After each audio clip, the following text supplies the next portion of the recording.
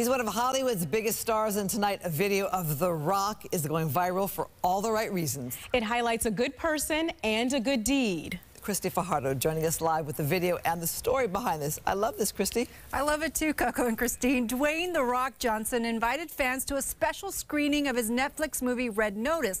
What the fans didn't know is that one of them, a man from Culver City, had impressed the movie star so much he wanted to do something special for him, and he did. Ladies and gentlemen.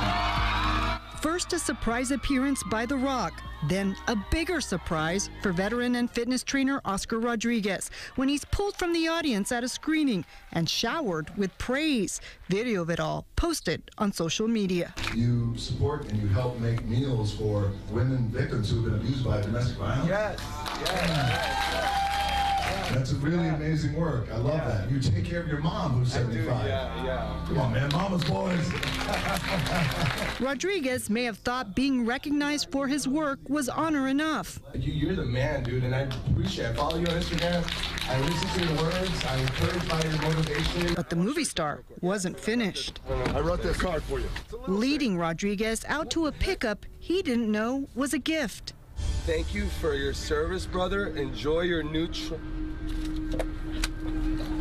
what the heck is happening? Get out of here, bro! Oh my god! The hug Johnson got said more than words. A now viral video showing compassion rewarded, gratitude expressed, and that kindness matters. You do a lot of good for people, man. You do a lot of good for people.